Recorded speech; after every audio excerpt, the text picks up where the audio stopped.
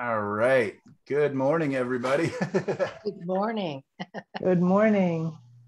um, yeah, so welcome to what is this? Class Six. five, six. Yeah, class six. Holy cow. So starting next week is our final big project where we'll be uh, working on a, a big new painting. So I'm excited for that. And uh, I was out at the vineyards all weekend um, helping with the workshop and uh, got lots of cool photos. And I'm contemplating changing up the image again um, for my final project because I got a very, very dramatic uh, cloud painting here of the vineyards. And it's, uh, of course, I shot it through my sunglasses. So let's do a screen share and show you what I'm talking about. Uh, Photoshop. There we go. You guys see this big guy here? Oh, wow. Yeah. Oh, So that's um, Montinore Vineyard out in Forest Grove. And I was just driving away, spent the day actually painting um, on the other side of that hill towards the sun. Um, and uh, as I was driving away, I caught this photo and I thought, you know what? This is complicated enough and simple enough that I think it could warrant a final project. And it has a lot of options of zooming in and, you know, different edits we can do. Um, anyways, would you guys be interested in doing that? For those that you could, you're more than welcome to, of course, do any scene that you choose. But I kind of thought this might be a fun one because it's doing a lot of everything that we talked about. It's got the fog. yep. Did please. you say did you say large? Well, I'm thinking like 16 by 20 size, maybe. Uh-huh. Um, but you're any size. I mean, I could even do it bigger than that. Um, just kind of more of a finalized, finished product because we've been doing a lot of exercises and we'll do a couple today as well. Um, and then I think that this kind of leads us, you know, something final that we hopefully is nice enough that we want to hang on our walls or something like that. I like to usually finish the classes with um, kind of a something that incorporates much of what we've learned. So Right. um, I know I presented the other one with the trees and the you know the cool blue colors, but I kind of like this one. But I always like whatever's new too. So maybe next week I'll have something else that I like. So What is shot in the- this? Oh, I was going to say, what is in the middle foreground? Yeah, right. that What is block? this? That's just some yellow flowers. I would probably get. Oh, no, no, no. The the block that comes over from the right. Yes. That's Yeah. a vineyard. Those are vines. Oh, Uh-huh. it's hard to tell. Okay, got it. Yeah. now. Oh, Yes. yummy. Okay. I'm worried about about my own ability to um, differentiate that. I mean, it'd be a good exercise, but I don't know for myself if I might have a hard time ha- making that look beautiful in comparison to the rest of it. But I guess that's where the editing comes in, right? Sure. Yeah. I mean, we could make it not such a block shape too. Um, you know, if you wanted to make it more of an interesting shape just by simply, Well, and it comes right over to the middle. too. And then what's what's that brown streak on the left? Is that a a clearing or a ditch or a yeah, that's just a dry grass field. Um, so yeah, Okay, there's, there's okay. opportunities for improvement. clarification? yeah. Um, what if we did even something like.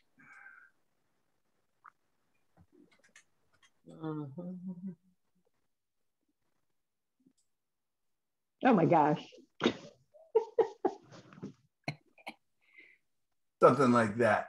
Yeah. Yes. I love it. Um, and so you shot this through your sunglasses, you say? Yeah, I do it all the time. What what what did you use for a camera? My iPhone. No kidding. And are are your sunglasses polarized? I yeah, love it. They're, they're polarized and a prescription, so it kind of messes with the camera. Oh my gosh, you're kidding. And they were probably really dirty because I'd been out painting all day. So Oh, my. wow. We could use Because I know every time I try and get a nice sunset view, the, the sun just wipes out everything else and it just comes out too yeah, light. I'll usually tap into the sun area a little bit so it doesn't wash it out completely. Anyways, that was just an idea. um, we can still decide, and everybody's welcome to do, of course, whatever they want. Um, but yeah, you're right. There's definitely issues here. Like that's what I would try to figure out. You know, okay, like these yellow flowers up front are very disruptive. I do like the shadow across the front, but probably not so much. So you know, maybe it's more of a scene like Uh-huh. kind of like that or something. Um, I don't Mm. know. And I love these Try. clouds too. So yeah, I don't know. Anyways, anyways, um, start thinking about what picture you might want to paint for your final painting. So that's next week, and you know nobody has to paint along with me. They don't want. Um, but, But anyways, wait, when is, when is our final painting due? when is it due? Is that like the following week? So we have two weeks? Yeah, so we'll work start- on If it. we both start now? Okay. yeah, yeah, you could- yeah, why not? I'll, I'll- let's talk about that um, towards the end of class a little bit. Okay. Um, for the next class, uh, starting in January, I did uh, go ahead and submit the class details to OSA, Oregon Society of Artists, and um, it is going to be color and color theory. We're going to touch on that today, but you know we're we're doing color through a tonalist point of view today. Um, starting next January, it would be a um, full color theory and uh, playing with color and doing a couple different experiments using different color wheels, different color theories, and um, learning about, yeah, having fun with color, anyways. So hopefully everybody will be down for that, and hopefully that- will help answer a lot of questions that we weren't really able to get to um, this time around. And um, I'm going to go ahead. So here's how the day is going to go. We are today. We are discussing um, kind of emotionally painted or poetically painted tonalism versus the more uh, early historic tonalism that is more academic and design and um, technically um, oriented. And so today we're going to be getting a little more expressive, a little more abstracted, if you will, um, just letting our brushes have a little more fun. So it could be a little messier feeling for some of us, um, but it's just something I want you to experiment. And while we're doing that, we're going to be learning about color keys. Remember last week we did value keys, the lights and the darks, and where they lie on the value scale. Today we're going to be doing color keys. Um, I don't have the same uh, metaphor or whatever of a piano really because it's you know where does it lie on the color wheel? The reds the yellows the blues or anywhere in between. Um, and we're also dealing with temperature keys. So the warms you know the warmer colors. I don't know where i'm pointing. Warmer co- the warmer colors the cooler colors um, and the different keys that the paintings can be in. So uh, I'm going to jump up to the easel and I'm just going to paint the same design twice. Very, uh, very simple, very easy to follow along design if you want to use it. Um, it'll be basically three, maybe four values. It's going to be my generic creek and a couple trees and that's it. I'm going to paint it with acrylic paint, black and white and gray. And I'm going to then, while that is drying, I'm going to step back over here to the computer and we are going to look at um, a number of artists' paintings. I posted them all already on Facebook um, in a new um, new folder under the media section. I think it's just called Cool and Color Keys and Warm and Cool Keys.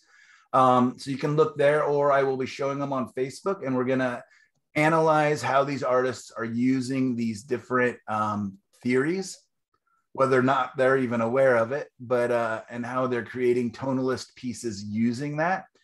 And hopefully during that time, my acrylics will get nice and dry.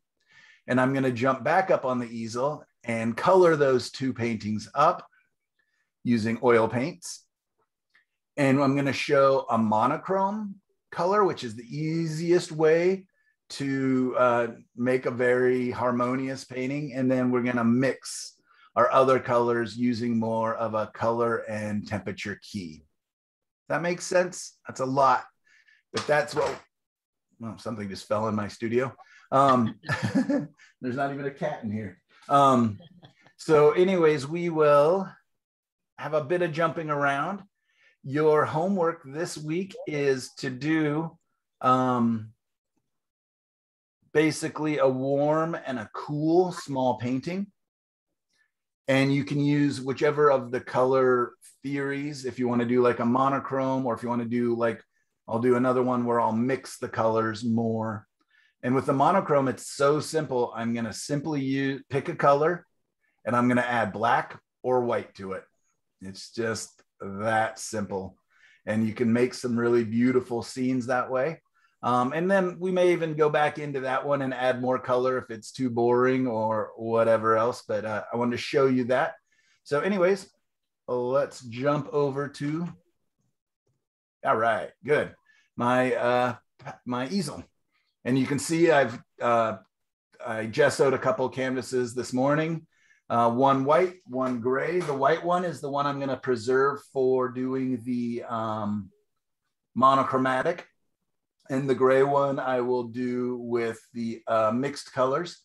But really quickly, I'm just going to go up and sketch, um, like I said, a three to four value painting really quickly. And it's going to be very simplistic. And we can make it as exciting or as simple as we want. I'll zoom in the snake a little bit.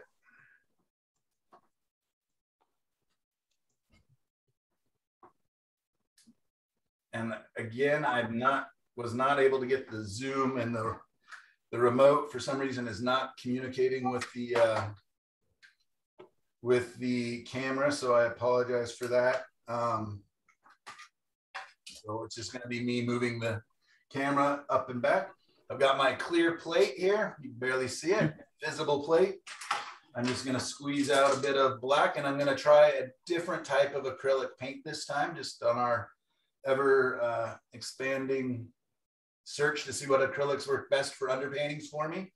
Um, this is a Blick Artists Acrylic Series 1. I think they're all Series 1 colors.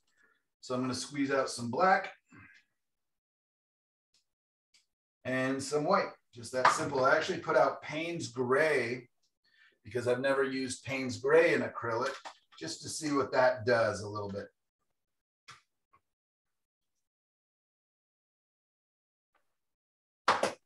So there we go. Um, would you guys prefer to see, it's gonna be a little bit hard to see the everything with the small. So I'm just gonna kind of leave that up there. And you guys understand mixing values with just black and white. So as I'm coming up there with my colors or my values, you'll be able to tell what's going on. And Um, Michael, as you paint with those acrylics, especially since you've put the Payne's gray in the mix, um, let us know what colors you're seeing on your canvas because we're of course seeing Sure, the I'm digital version. guess. I'm gonna guess that my gray will be a little bluer. It looks very blue. Yeah, Wow. Pretty much matches. a I just lost you, Mike. Oh, there you are. You're back. Okay, cool. I just love Payne's Gray. Yeah, I really like it too. And we'll just see what happens. I- I've never used it for this idea. Um, so basically, I'm just going to show you in a couple quick strokes a very simple design that I can play with and use because I don't want to worry too much about making a masterpiece design and getting my values because I just today is not about that. Today is about the colors and temperatures and having fun with my brushwork. So my first thing I'm going to do is I'm going to put in a horizon line, basically about one third of the way to the top.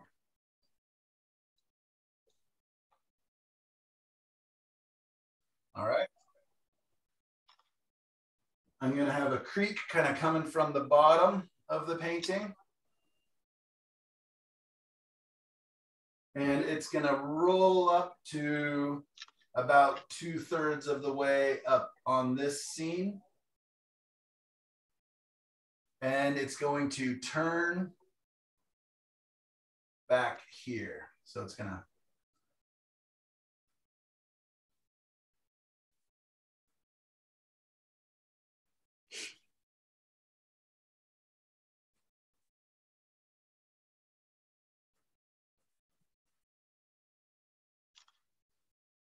just like that, we have a creek.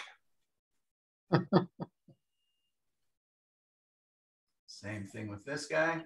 Just kind of pick an anchor point and basically just let it get a little messy as it goes back there.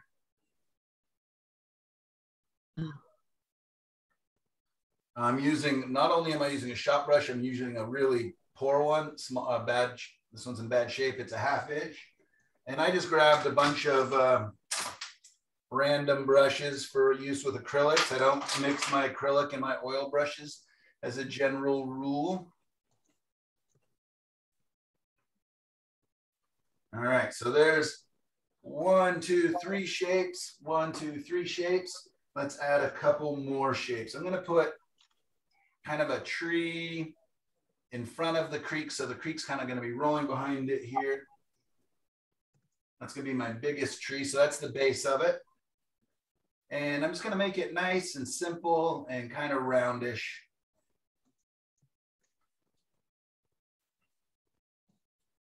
Going off the top of my scene. So it's really got some nice foreground. Let's go ahead and fill that in. I'm gonna use pretty dark paint to fill it in. Just so you can see it.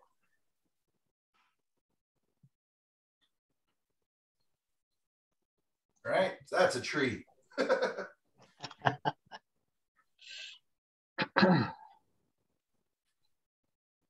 All right, so now I've got four shapes, still nice and simple. Michael, I don't know if there's some way you can pin yourself. Oh, Um, Sorry, I totally forgot to do that. thank you. Sorry about that. And also it's really helpful if everyone generally keeps their mics closed because it, uh, then we won't hear the noises. All right, there we go. Spotlight for everybody. Did that help? Go ahead and talk to somebody, see if the screen goes away. One, Yeah, two, thanks. All right, great.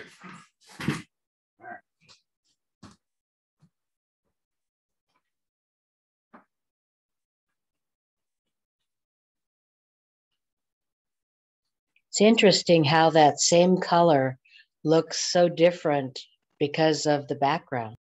Yeah, it is. It's pretty wild. Um, all right, I'm gonna go ahead and add another tree a little further back. I'm just gonna give it, it's gonna be on the other side of the creek and it's gonna be peeking back kind of from behind. Maybe I'll lower it just a little more than that.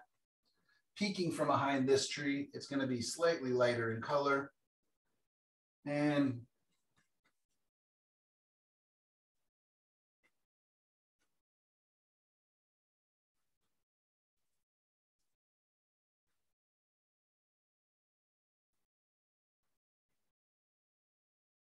All right. So now we've got one, two, three, four, five, six shapes going on kind of. We're split up. Now I'm gonna go ahead and add some trees way back there, kind of right on the horizon line. Um, they're a little lighter even again. I can make them big and or you know as complicated or as simple as I want. Again, I apologize that this is such a rudimentary scene, but it's nice to have something that you can kind of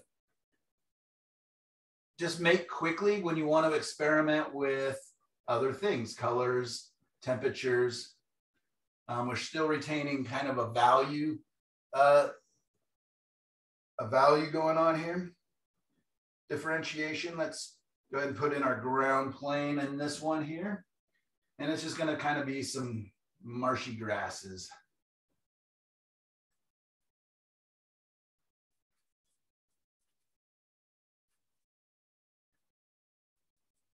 Scrub, scrub, scrub.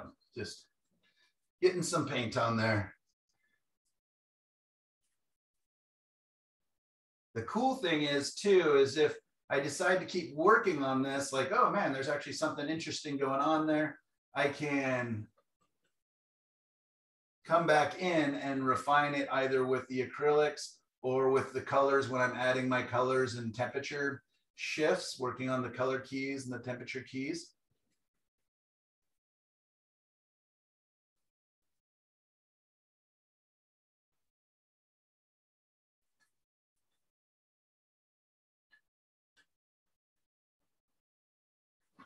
All right. I think this little tree way back here. Give it, oops, too dark.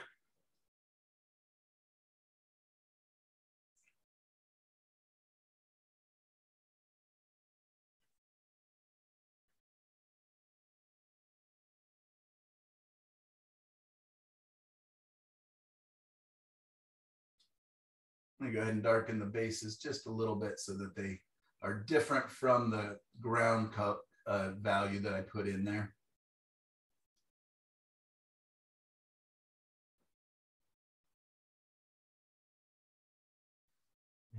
Darken the bases of these trees as well.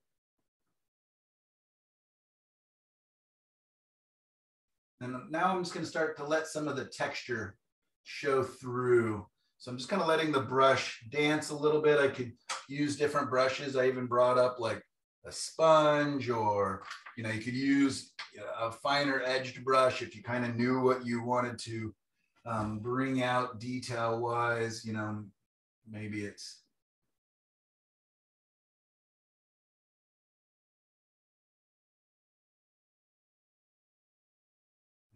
creek turn back here again.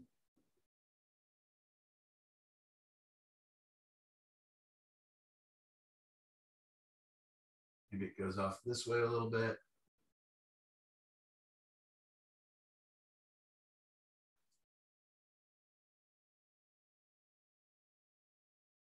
Let's go ahead and lighten this land way back here a little bit. So that we get a little bit of a sense of atmosphere and depth on the ground plane itself.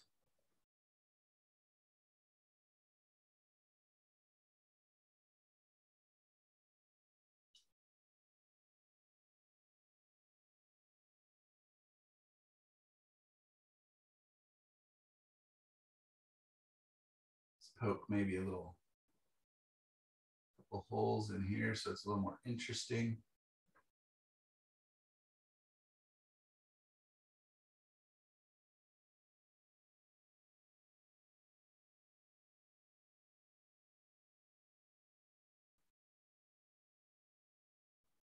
Get back to my messy brush.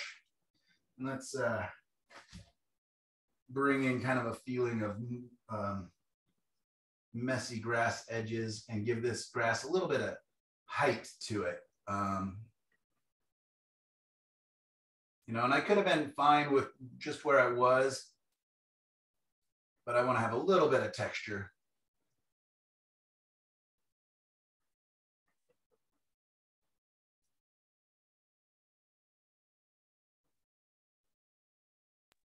Have you established the direction of the light?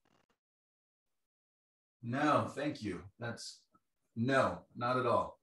Right now, it's just the very simple kind of values, like we talked about. Um, was that in the first or second class about just kind of uprights versus flat planes um, versus the sky versus the water, right? We've got value one, value two, three, and four.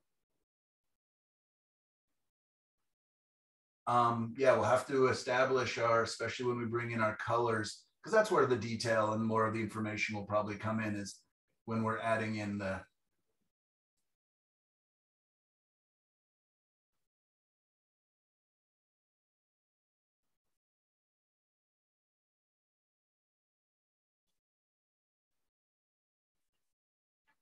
just kind of having fun, letting the brush do most of the work for me, do the heavy lifting as far as texture and stuff. You know, you can use whatever tools you want. Um, have fun, experiment with different mark making. Um, and again, you can make this as tight or as uh, loose as you want. I'm going to go ahead and add white paint white or light acrylic paint into my sky and water really quick. Now let's decide where should I have my light source just because now I'm dealing with the sky and the water a little more. Where do you guys, where would you guys like to see some light coming through? It looks to me like upper left would be logical. Upper left behind the tree? Mm, yeah, not, yeah. Okay. Sounds logical to me. Let's darken this side of the sky a little bit.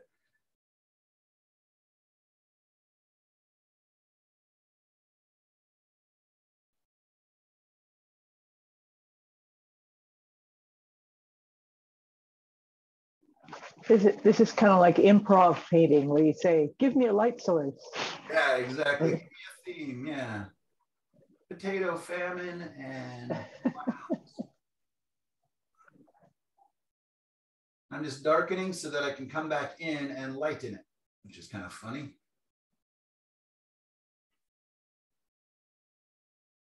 The other thing is I like how these colors kind of come up against the others and add um, some more interesting kind of brushwork. All right, let's lighten that sky on the left side, kind of behind this tree maybe, kind of coming out here.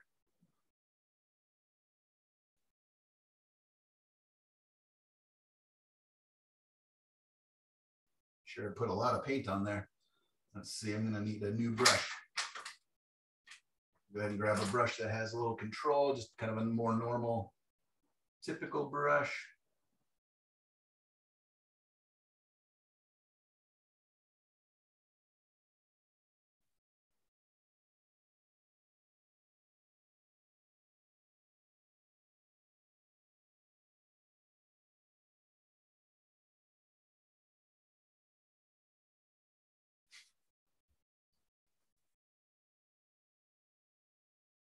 Shapes are getting a little weird and boring over here. Drop back in.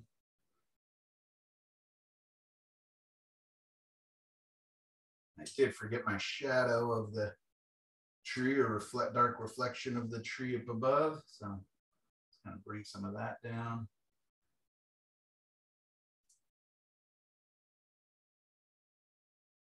Can you review kind of any rules for reflections? Uh, generally, um, reflections are a little bit lighter, like in the darks, and a little bit darker in the lights. And reflect reflections generally just come straight down towards us. And So- as far as like how far back um, something would get into the water or into the reflection. Yeah, so oftentimes what I'll do is even kind of measure it either to the horizon line. So if I was measuring like where's that light, I'd measure it from the horizon line. And so that you know the sun would be pretty much right about here behind this grass. So that's why I kind of have it coming off, you know, over here. Um the tree, I would just kind of take from show you something so it's a little easier to see what I'm doing here. So if I measure this tree back here, this kind of mid-range one, from the top to the bottom, it's approximately this tall. And this is when you're standing eye level at things. And then I would just go from the base of it to the bottom. So it really doesn't show up in this reflection at all. It's kind of right, it would probably be ending right by those grasses.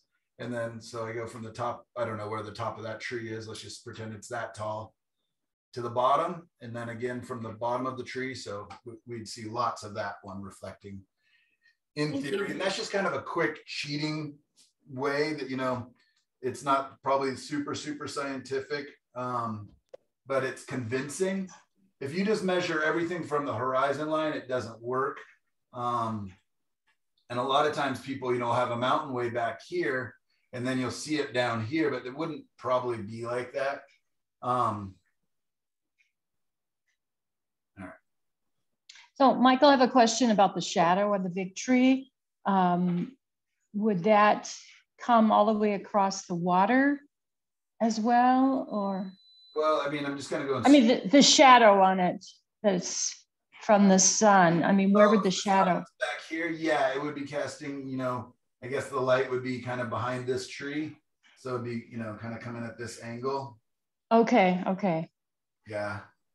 And again, I'm just oops, trying to keep it a little simpler than all of that, but you're more than welcome to get as, you know, uh, into the weeds with the science of everything and all that. Um, but yeah, it- that's a good point though, is remember the difference between a shadow and a reflection. I see that a lot where people mistakenly will put like shadows and uh, we'll be adding the colors of the thing, and that's more like a reflection.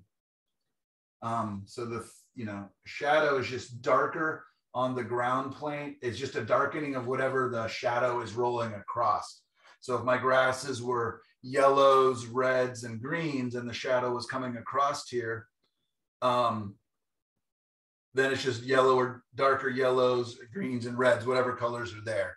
It doesn't have anything to do with the color of the tree itself. All right, I think that's kind of okay for that one. We'll just, maybe I can bring in a couple highlights of grasses like they're, they are picking up.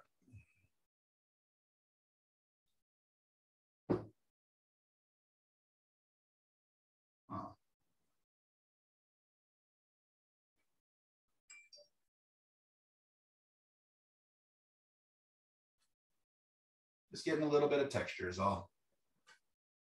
Hinting at detail. All right, let's go back to this guy. Same thing. Let's get these uh, bases a little darker.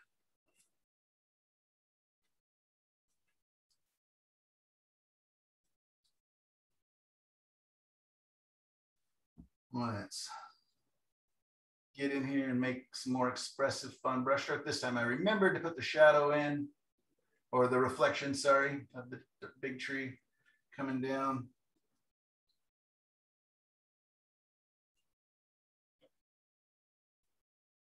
Just love those weird little marks, even though I'm going to go over them with uh, different values here in a little bit.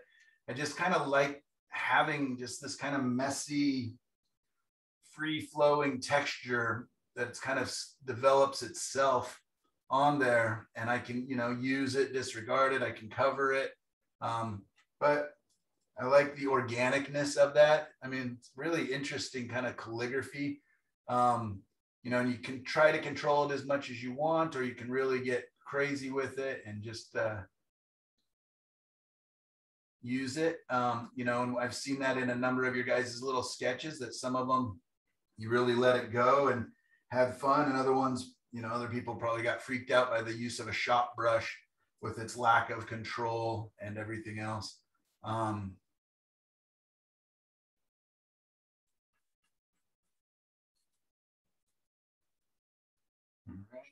I'm going to go ahead and go jump up to my sky because I've already got kind of a valued ground plane, which it doesn't look like. It's funny now, this all appears really light. Um, gonna put the sun kind of in the same spot there of a light source.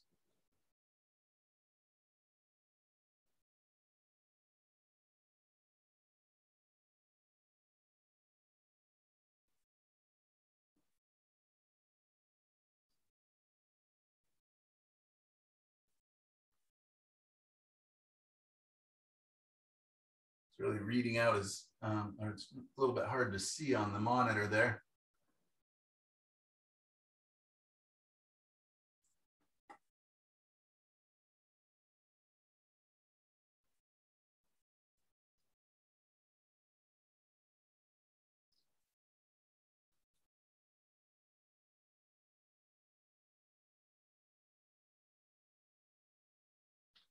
And let's add a little more texture kind of into the ground plane.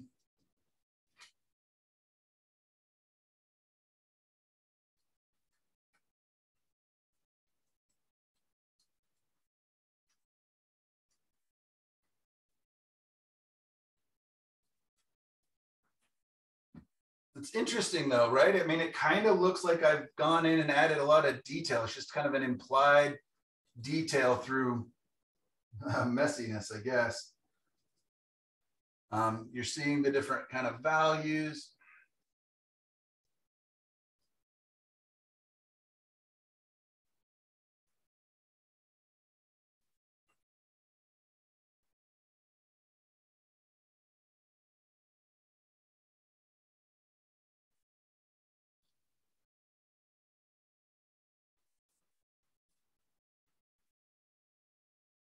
And again, this may not be for everybody. You're totally welcome to use whatever tools for this are, you know, fun for you or comfortable for you or that you want to experiment with.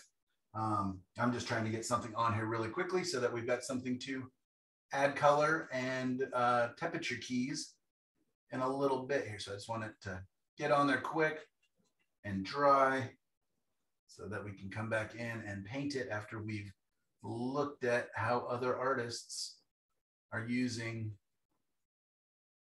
their color and temperature keys to make their harmonious tonalist paintings. Okay. Maybe I'll even add a couple like pretending like there's some white flowers in here or something.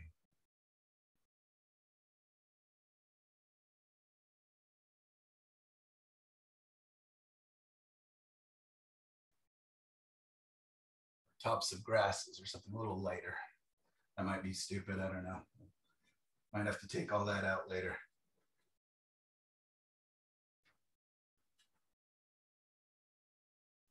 And a little bit of lights catching the tops of these grasses.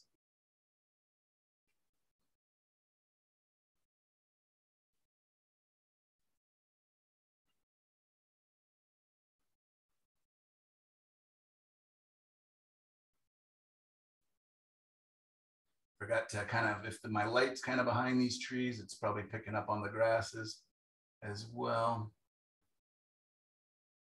So maybe I'll lighten up the, the ground plane even a touch more back there a little bit.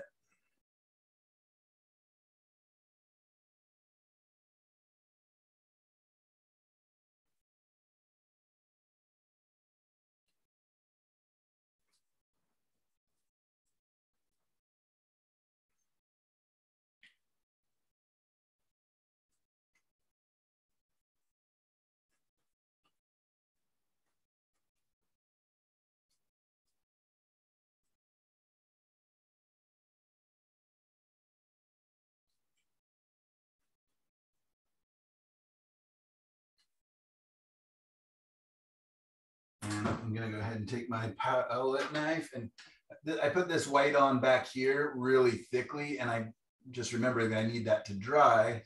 So I'm just gonna take my palette knife and uh, skim it across and pull off kind of the extra paint. If I, you know, was gonna let it dry overnight or, you know, for hours, it wouldn't matter, but I'm hoping to get back to this sooner than later. I'm also just looking for hard edges where I don't think hard edges should be. And let's go ahead and lighten. Oops, this brush is dirty. All my brushes are dirty.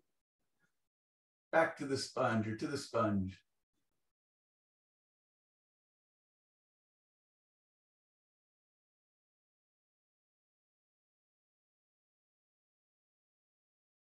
I don't know if when you guys, if you guys used to watch Bob Ross paint every once in a while, and it used to amaze me that he would pull out these sponge things like we had in kindergarten and make paintings with them. Um, and one of the cool things that he would use them for would be edges like on barns and different things like that. Um, but I remember him also putting in uh, like trunks really quickly with um ah, got a little fat there at the bottom. I don't want it to be quite that fat, so that was not a good example. Let's now they're trees. Now they're trees, yeah. Let's just, I'm gonna pretend, see if I can put in just a couple trunks. He's practiced at it. I want my trunks to appear a little bit wider at the bottom. There we go. You can kind of see back there. I don't want them perfect, so kind of obliterate them a little bit, obliterate their edges.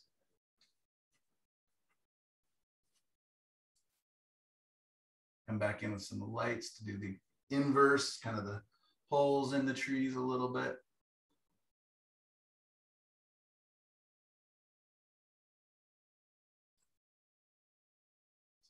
Thinning out some of the branches. A little more light's getting through them. I don't know. Maybe I'm getting crazy. I already know I am. Getting a little silly with it. Anyways, very, very basic. You can make it as complicated. You can work the scene up as much or as little as you want. Um, I think that that's, you know, a decent something to put some colors on and to play with and experiment. And uh, yeah, anything glaringly wrong before I put my acrylics brushes in the water so they don't dry up. And I come back over to the computer. Anything that you see that doesn't read at all. Oh, this black spot, dark spot here is a little weird on the monitor. So I'm just gonna bring Would, it. would there be any shadows on the foreground land uh, where the big tree is or the middle tree? Yeah, let's go ahead and add that. So I'm gonna pretend my sun is right on the basically behind this tree here. So it's kind of coming down. So I'm just gonna go ahead and darken a little bit underneath. I think that right hand example, that tree that you went over with the brush, it's too dark now because it's almost as dark as the foreground one. There. Voila. Voila. Good catch. Good catch. Very good.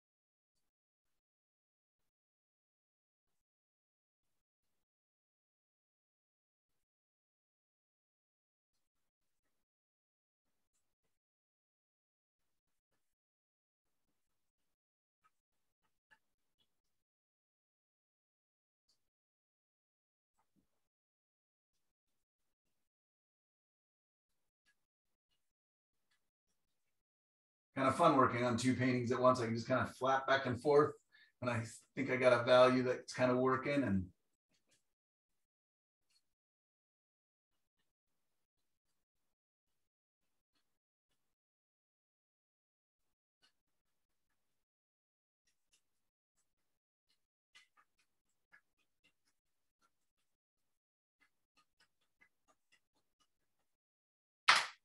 you notice that my white I have to go ahead and clean a brush.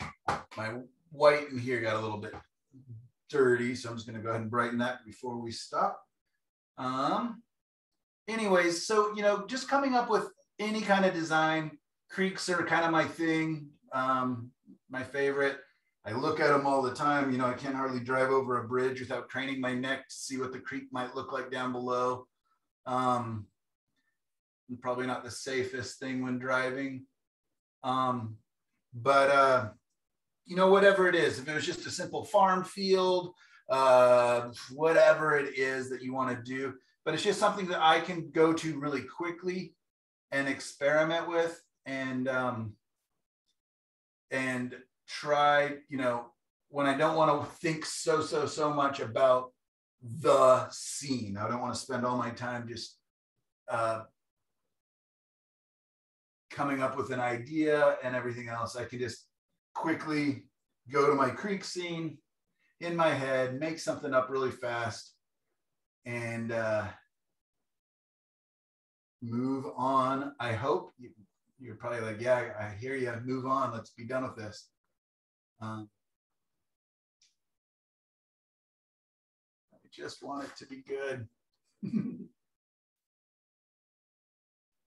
Is there something you do when you start to feel impatient with a painting to to not feel impatient about it? Uh, when I'm teaching, it's a lot harder um, because I'm impatient because I want to value your time. And I want to get to all the different things I want to cover, which, as always, is far too much to fit in a three hour class. Um, I know one or two of you are asking, is there going to be like a tonalism two class? And there's so much to cover. It's funny like the more i look through my notes and the more i read and the more i review about the paintings of others the more you just go oh man i could i could cover that. Oh i could cover that. Um so yeah there's just so much and i just get so excited by it all and i know you guys do too. And so um but yeah i will take I, I, oftentimes i talked about it a little bit last week about just taking that deep breath I have a, a six count in, three count or two to three count hold, and an eight count out.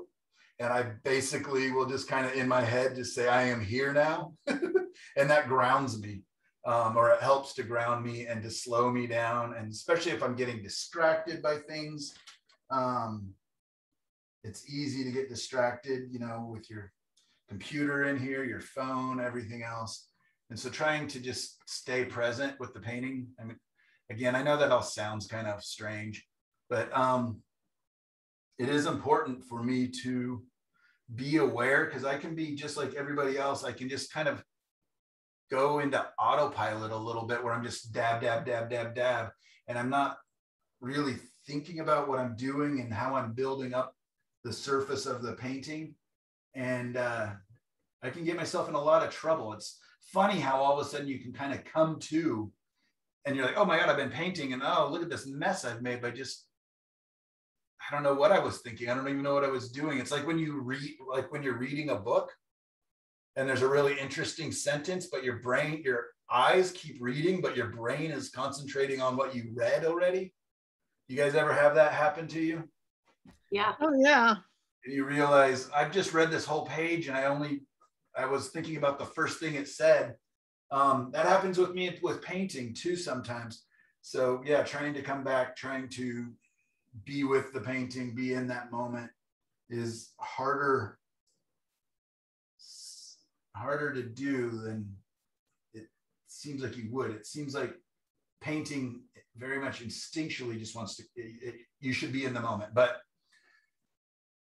um, so Michael, now that you've thrown out the tonalism two class tease, are you are you thinking about it seriously? Um, yeah, but I, the only problem with when I do stuff like that is that I won't get new students. It'll be half of the old students that are, you know, yeah, that sounds interesting. The other half are like, now I've had enough tonalism. Um, and so I, I diminish my class size. And that's just an economics thing at that point. So I apologize. But what I may do is um, another just tonalism class and, you know, take some of just teach some different information and repeat some of the same information. And we'll go into, um, so I've got a number of students, Michelle, Denise, Gail, Carrie, uh, Susan, actually most of you guys have been with me a number of times and you know that I repeat myself, right? And then I go over a lot of the information again and again. And that would be the same with tonalism.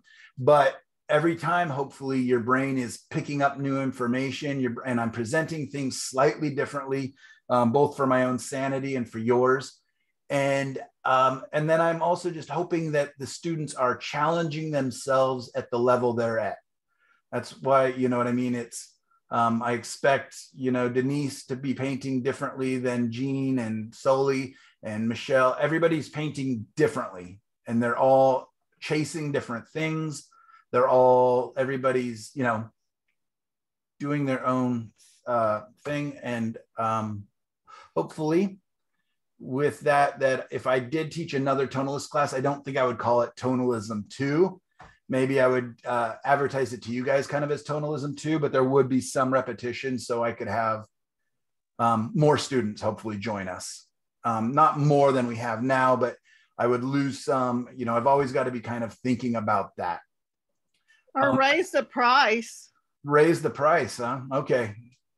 I Um, mean, you know, I'll, I'll, know I'll raise that- it on a curve. If I get half the students, I got to double the price. If I get one third the students, okay, it, whatever would economically work. no, we'll figure it out. We'll figure it out. I, I, I definitely loved teaching this class. Um, and if you take like my design core class, um, which I think I'll probably do in the fall because that's normally what I would do now, you can very much, we'll take the color class too, I hope, because you'll learn a lot about how to make the tertiary colors and the colors that exist in the middle of the color wheel that are all the beautiful browns and grays and everything else. Um, Absolutely. I'll, sign up for sure. And, uh, you know, repetition is good, especially the older you get. So nothing wrong with just calling it tonalism. I'm just teasing. No, I appreciate it. And I'm glad that you like this class so much that you're willing to pay three times as much. Um, uh, just kidding. Um, but, anyways, I do appreciate that. I take it as a compliment. And um, yeah, I hope we can. I think we'll take kind of a review at the end and uh, see what everybody thought, but maybe we'll revisit it next fall again and uh, have a great time. And then the other classes that I teach, you can always just say, Hey, Mike, I'm leaning towards tonalism on all of these. And I will be able to give you tools and techniques and things where you can bring, even if I'm teaching you um, uh, complementary colors, you know, the two colors that are opposite each other on the color wheel. I absolutely will do um, tonalist col- colors like that. And in fact, I may even teach a little bit about that today um, for the second of the paintings. Yes, Jean, I see your hand. I was just going to say that your classes are just so good that you can apply them to any the theories or the skills to any medium. Right. Thank you. That's exactly Yeah. how I'm hoping. And that's that's what I I I even when I'm I mean I'm focusing on landscapes just because I'm demoing landscapes most of the time. But yeah, all of these things that we've learned this year, all of it is applicable to uh, portraiture or still life or cats or cars or whatever it is you want to paint. Um, and I'm always weirded out when people are say like, "Oh, I'm taking a cat painting class and I've got a cat painting color palette and I've got my cat painting paintbrushes." Um, I just don't think of painting like that. I think all of it's for everything. Um, you know, some of it with like the color, how do the four values go across the landscape? Of course, that's a little more um, particular, but that's also going to be really helpful if you want to put a landscape behind your cat um, painting. Um, anyways, enough cats. Let's. Do you uh, do you guys have any questions about why I just did what I did up there with the black and white and grayscale paintings? Was that straightforward enough? What my intention is for that here in about a half hour? Yes. Great. All right. I'm going to do screen share and I'm going to take you to Photoshop. If you have the ability and want to see the pictures bigger, you could visit them on Facebook and maybe you can do that afterwards. Um, what I'm going to talk about though is um, we're going to look at three different aspects. Let's go to screen share and go to Photoshop. All right. Who remembers what it is that today's class is focusing on? Go ahead, Gail. No, Gail doesn't know. All right. Aesthetic versus expressive tonalism. Yeah, perfect. That's one of three. What else we got? Go ahead, Michelle. Um, oh, let's see, color keys and temperature keys. All right, those are the other two. Nailed them all at once. So, color key is, um, I should have had a color wheel on here. Uh, You guys can all picture a color wheel, or I can just do stop share real quick. Let's go to color key really quick. Um, a color key would basically be just, you know, it's a dominant one of these colors, right? So if we're saying color key, you know, is the painting orange or tip, you know, and just it's kind of like predominantly. Is it, you know, 60%, 70% leaning towards one color? Or are they using more of like the first painting we're going to see here in just a second by Charles Melville? Is it more of just, oh gosh, it's so hard to look at backwards or do it all backwards. Um, is it, it's just in the warm side. So it's uh, these colors, right? That's the warm keys of the painting. And then the color keys are going to be, gosh, it's going to make my brain explode trying to do it backwards. Um, is the color keys are here. And then you'll see in it that it's going to lean towards green. It's going to go across the color wheel a little bit. So the color key would be kind of a pizza slice from the yellow orange to the warmer red, leaning towards green. So that's kind of the color key. And then the temperature key is going to be on the warmer side. Okay. Here's what I want us to, and this is the advanced part of this lesson. I'm just going to throw it out there, but we're going to teach, a, learn a lot more about it in color. Is no colors by themselves are intrinsically warm or cool. Okay. When we are taught in college and when we're taught when we're young, warm colors and cool colors, they literally just split the color wheel in half and tell you these are the warm colors and these are the cool colors. That's fine as a very basic fundamental understanding of it. But the truth is, all colors can be warm and all colors can be cool. It's always comparative to what they're around and what else is in the scene. Okay, so we will talk about that as well. Remember, that's kind of the advanced setting of this for our very beginning idea of it. It's just kind of the warm, warmer colors, the reds and yellows, and maybe the warmer greens um, you know, and then we can think, well, purples are warmer than blues because they've got red in them, but they're definitely cooler than red, right? And just like pink is generally cooler than red because white also cools colors down. You guys have all had that happen to you in your paintings. You're like, oh, I can't wait to put in this bright pink, you know, on this flower. And you go, and all of a sudden, what happens? You add your white to your red and it just cools way down and it's so sad. And we'll talk a little bit about that. All right, back to Photoshop. All right, everybody seeing Photoshop and Charles Melville Dewey here. Um, I used to be able to just show one picture at a time and it would black out all the other ones.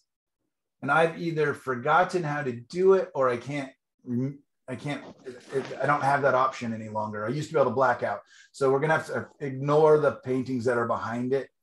Um, all right. So how about at the top where it has that box next to the red X?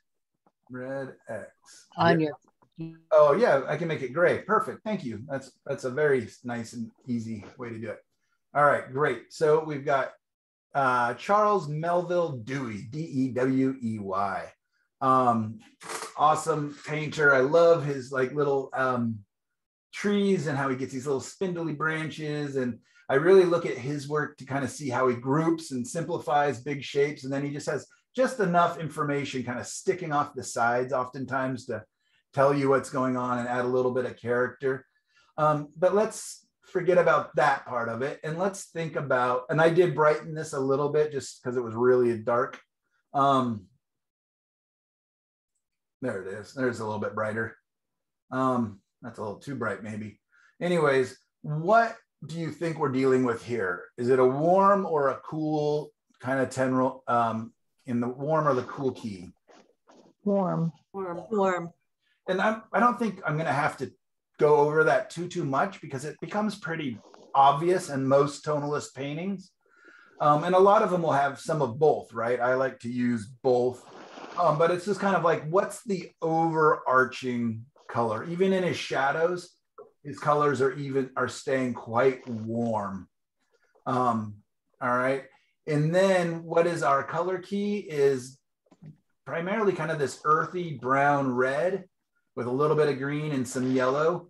Um, a lot of times I like to do, um, let's see if I can how would I do it on here? Let's just pick a little, I know what I'll do.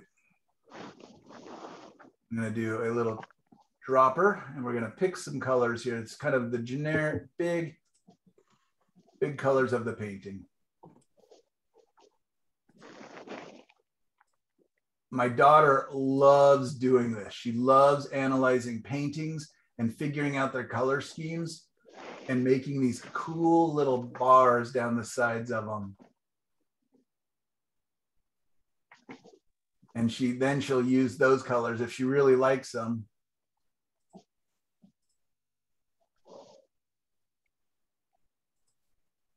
And it's a great way to kind of see the big relationships in the colors or in the painting that the artist is using.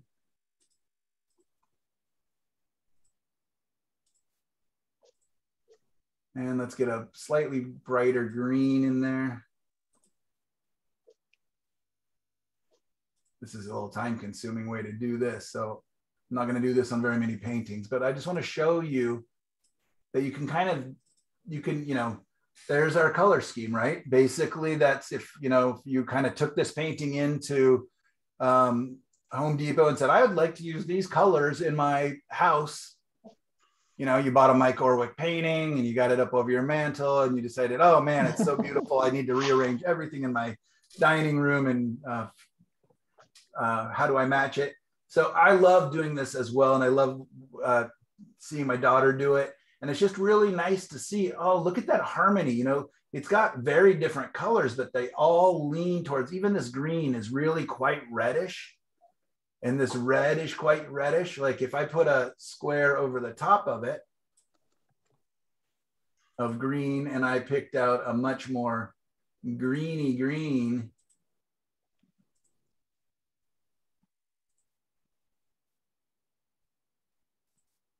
right?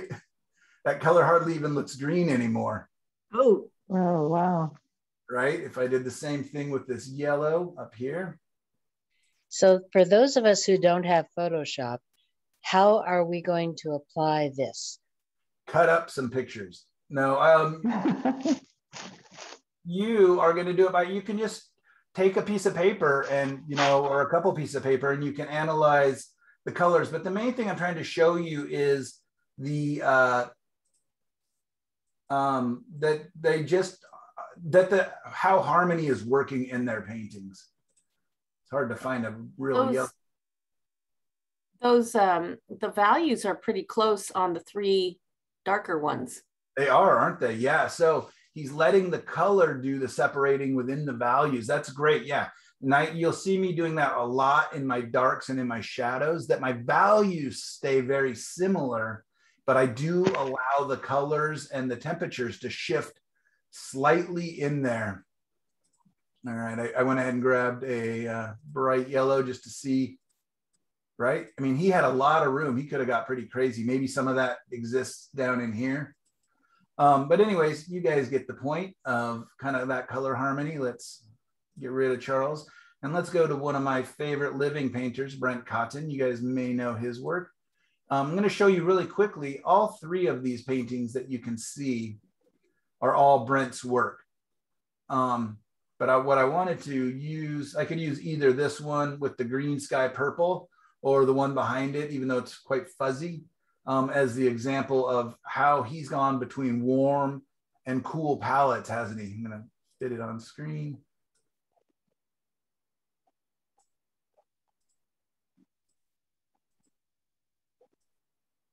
Yeah, look at those side by side, same artist, completely different color palettes. Um, you know, and you can decide is this one, uh, you know, right, either of them really tonalist paintings? I think so, but I'm pretty lenient in what I consider a tonalist painting. Um, but his color harmonies in his paintings are just so beautiful, and he can get pretty extreme at times and have really um, bright and uh, you know interesting contrasts. But a lot of them are really quiet and muted. Um, I mean, this one's really simple, right? Purple and green, and just variations of them, little bits of warms in there.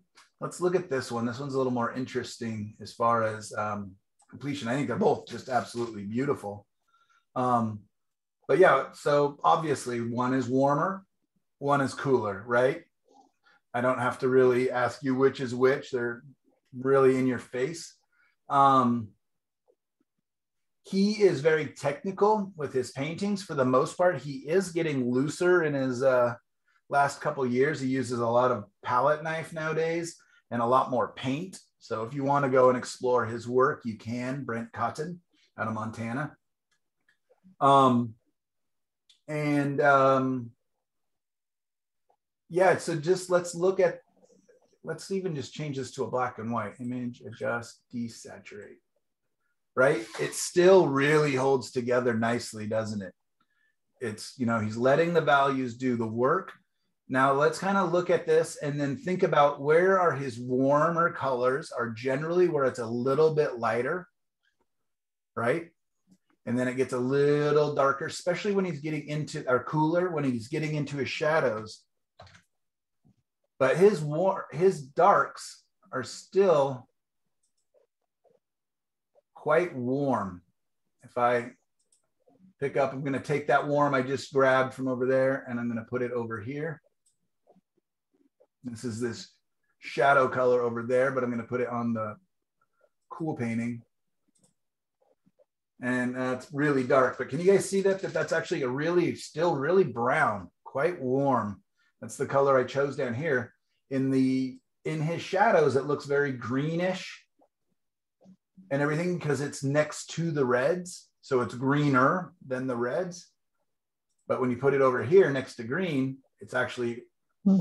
red. So color, just like temperature, is always about what it's next to and what color it's contrasting with. I'm gonna do the same up here, right? Let's go to the sky in this painting, right? See the blue up here? Very obviously a blue gray.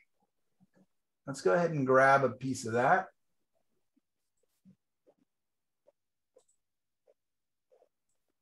And let's make the same thing. So that blue color that's over there, I just grabbed it.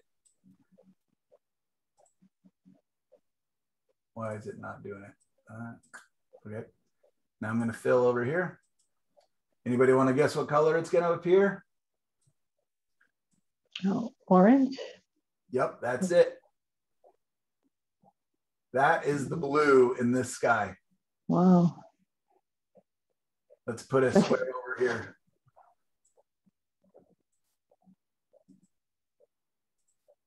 There it is. I just filled it.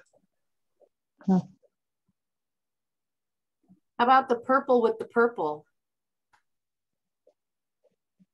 Where's the purple in this one? In that one, upper uh, left maybe, or right above the highlight of the cloud, or upper right, kind of looks Okay, purple. so right up here.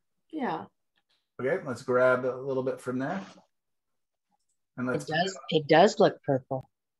yeah, let's see what happens when I put it on top of the purple.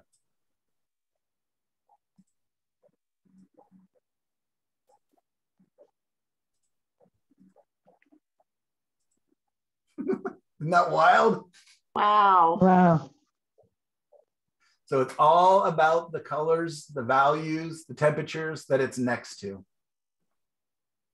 So cool. It's so interesting to me. And that's why you always have to test. You can mix all you want on the palette, but you have to test it on the painting next to the space. That's why having a bright white canvas can be really difficult for some artists. You know, that's why a gray might help because it helps you read your values. Um, and you, you almost have to get your painting kind of covered before you can really begin to judge.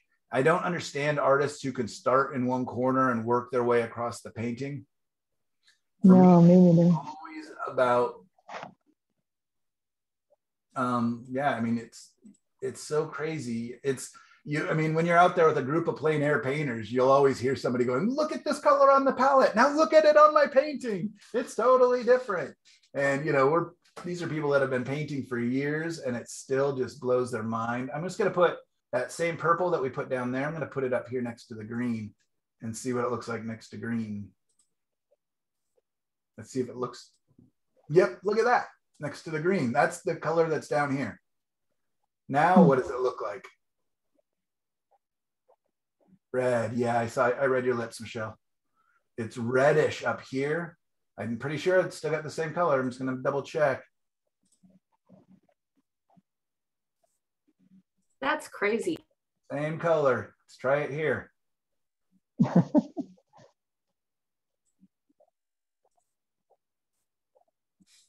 So it still reads pretty same. It's a little appears actually a little darker there. But yeah, up here and next to the green, let's put it next to bright green.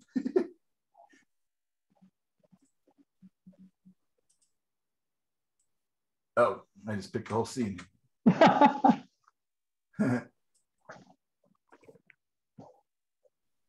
So Michael, um, you you would call this green and purple painting a tonalist painting, and and but it's I mean it's definitely I mean where I live, if I saw a sky that color, I'd be running for a tornado shelter, you know. Sure, Um, yeah, absolutely. seriously. Oh, it's an interesting color palette that he chose. Uh, yeah, I'm not sure I would have been uh, brave enough to make it all green like that. But anyways, I I, I don't know. I, I don't care again too much if it's tonalism. Um, you know, and I don't know if Brent Cotton calls himself a tonalist. Um, it, it is tonal. I mean, you know. tonal, yeah, and it's you know it's green and purple, so it's you know they're not even really close on the color wheel. Um, Makes you So I, think he I wonder, tried, it- it makes you think he just tried the two colors, see if he could get away with it, you know? Yeah, I think all artists are trying to experiment. I'm going to grab this green and I'm going to take that over Hmm. into his green over here. I mean, he Michael? pulls it off, you know. Hey, Michael. Since since you put that pinkish red on the green and purple painting, and I blow up the green and purple painting, I see that color next to the horizon. Yeah, I do too, right here. Yeah. Yeah, And behind the trees. It's very interesting. yeah, he definitely is letting some warmth sneak through. And so what I wonder is um, the purple and the green and purple painting. How purple is it? I mean, is, is a lot of that purple uh, a result of the green background? Or is it more, I mean, is it grayish purple or is it really purple purple? no, it's quite gray, but it appears. And, and without the green background, it might read more as gray. You're right. Let's do another experiment. Let's grab the purple. Let's take it over to here and let's put it on. So let's put that purple up next to the purple.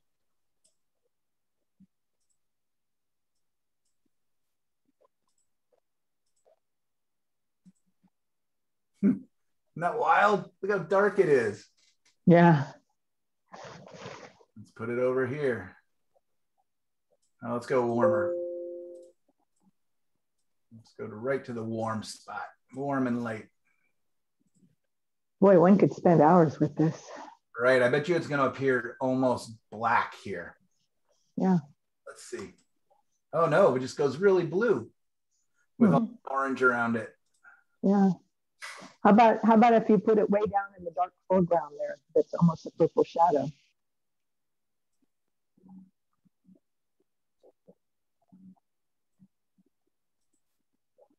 Isn't that wild? Same purple. Spots. Look how dark it is up here, how blue it goes with all the orange around it. And then oh, down here, it actually reads Yeah. closer to what I envision it being over on this painting. Makes us feel like we can't trust our own eyes. You literally cannot trust your own eyes. And Yeah. then when, when you're outside in plein air, One of the things I do, oh, I'm sorry. Well, even if you put it on your canvas, you're still not really sure what color it is because there's so much ambient glare. A hundred percent. Yeah. Everything. I mean, you know, you've been out plein air painting enough lately that when you bring a painting in, it's a whole different painting. A whole different painting. Outdoor lighting often appears a lot darker because we're compensating for that super bright outdoor light. Um, That's what I love about the whole black and white acrylic underpainting is you go out and do that on plein air and you can see that pretty well. And then you come back to the studio and mess with the colors without the interference of the sun. Right. Yes, exactly right.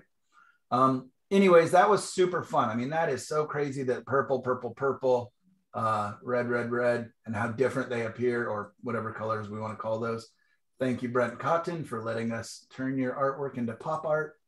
Here's another one of his. This one, I mean, so this one still has the purples, greens, and reds, but I still consider this kind of tonalism. Um, but again, I'm just so lenient with my terminology when it comes to tonalism because I'm not going to buy a painting strictly because it's tonalist or not buy a, you know what I mean? Or I'm not attracted to paintings that are strictly tonalist. We're just kind of trying to use some of the things that they have learned in our paintings and uh, how we might use them.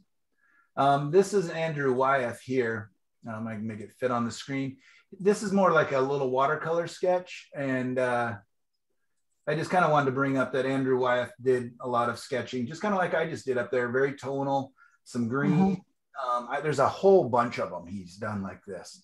And, um, you know, he has some beautiful ones of his fences. He's a very dry brushing technique with his watercolors somehow.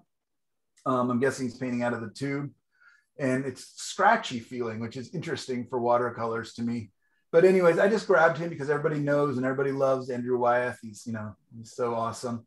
And, uh, you know, they're beautiful, these little kind of tonal sketches that he was doing.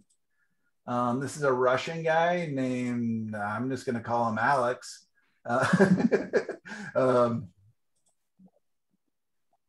Alexander Leach Kostanichev. I don't, yeah, I've never heard his name said out loud, but I do like his work.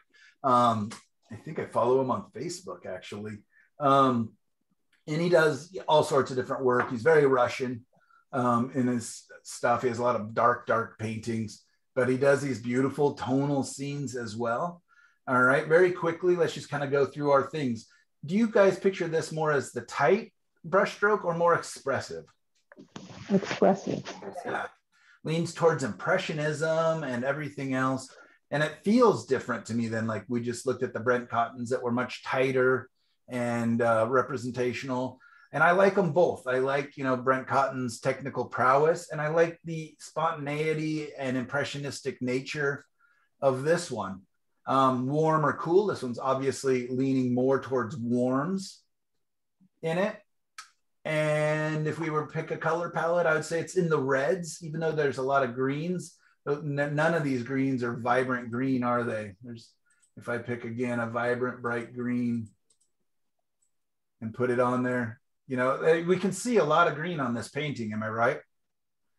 But let's find what area has quite a bit of green down here. And move this up to this corner so it stops appearing in the middle. Ta-da. So red, right? So much red in those greens.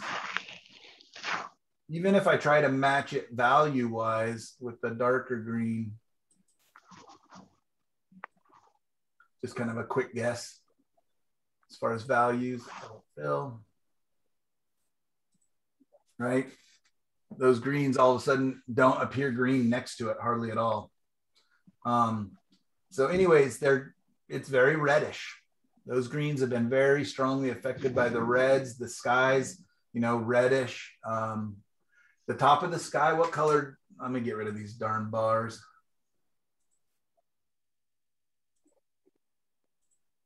Um, what color would you talk, call the top of that painting? Looks Green. pretty green.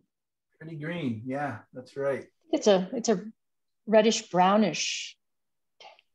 Reddish, brownish, a little greenish. He probably has the green underneath that he's kind of covering up, doesn't he? And he's kind of bringing over the lighter colors. Um, you can see some darker areas. Um, yeah, I don't really know what to do, but to show us, um, well, let's just kind of zoom in. I'm going to go ahead and crop just part of the sky.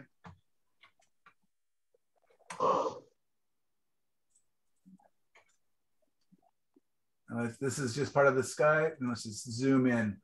So there's kind of the color patterning between the dark, the little bit greener and the little bit redder. If we squint our eyes, it's a little bit darker at the top, but not much. He's keeping his values pretty close. The light and the dark stay pretty similar.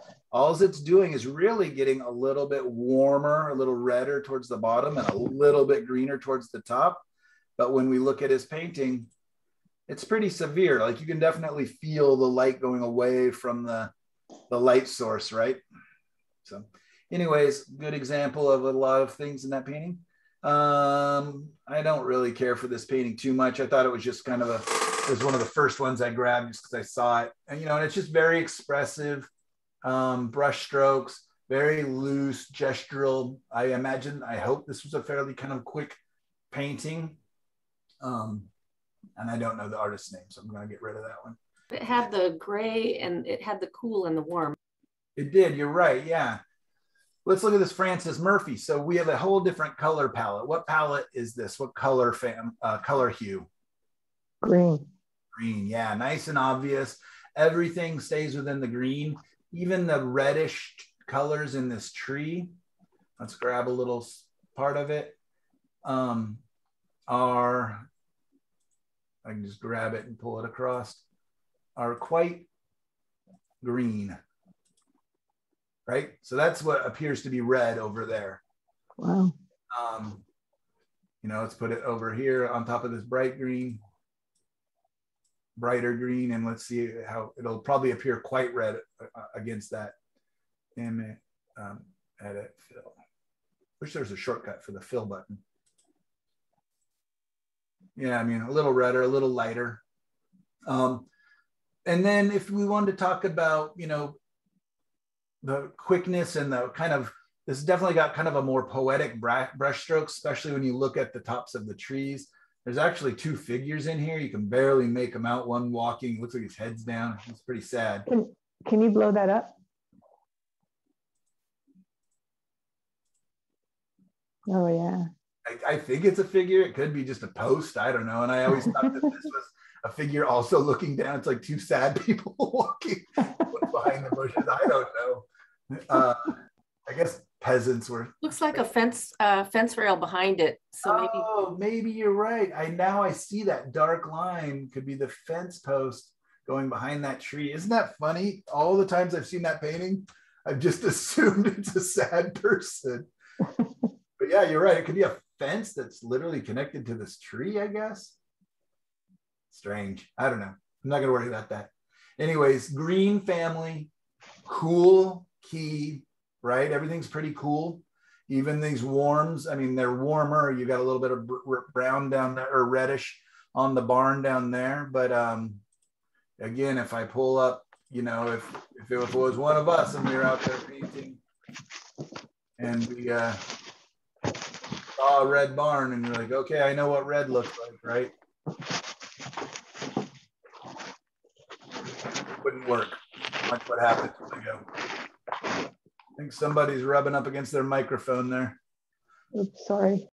Yeah, look at that bright red that I grabbed next to. Now all of a sudden, this barn doesn't even appear red anymore at all. Um, so it really matters keeping them in the family, keeping them related, and keeping that harmony. That's what I mean by harmony. So, you know, I could have a green scene with a red barn, but if I didn't want it to be super garish and you know completely the the um, focal point. Like if I put this red in there, try not to look at it right now. Right? It's almost impossible.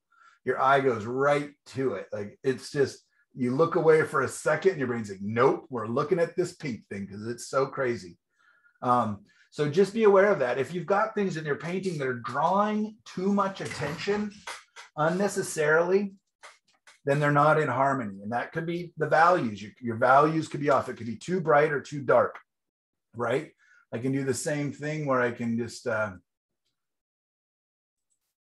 I can put something that's just out of place, just too light in the same way, right? All of a sudden, look at that. That's just so out of place. And that's not even white. That's still pink. Um, same thing. I could put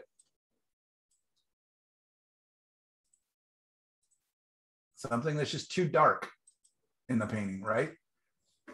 It's just too dark. He doesn't have that dark anywhere in his painting, right? So we just can't look away. This painting is now about these things, right? It's not about this sad man holding up a fence over here. um, anyways, so that's kind of what I mean by harmony. Are things playing nicely together? Um, something I hear artists say is how much can the painting bear? How much can it carry? Can it carry this much dark? Not currently. Can it carry this much light? Not currently. Could I have this vibrant, vibrant color in it? Not currently. I would have to go through and change things dramatically. I could come in and adjust the contrast And so that my darks get a lot darker, right? And my brights get a lot brighter. And now, ignoring this pink color, these things can work, right, in the painting.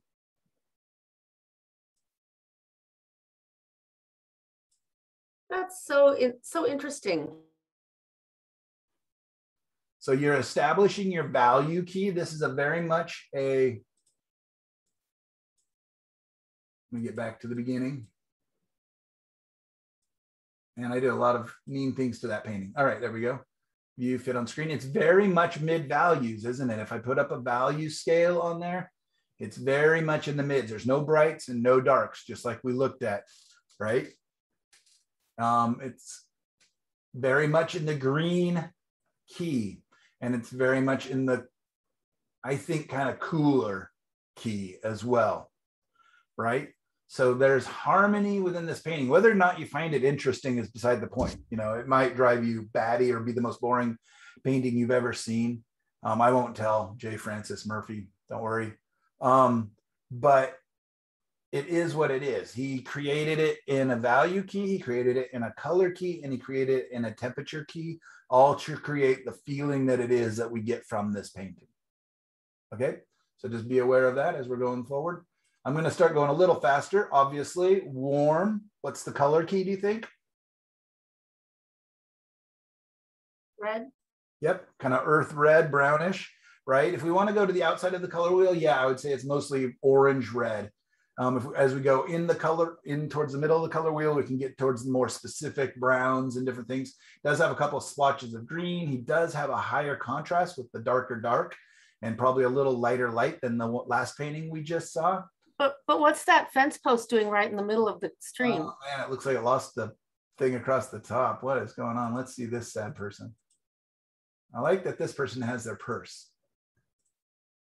yeah, it's interesting. They loved having one or two figures in their paintings. That was really, really common in them. I think it was meant to um, kind of our place in nature and contemplation. Um, Leonard, Le- uh, Leonard, I'm sorry, Leonard Ochtman.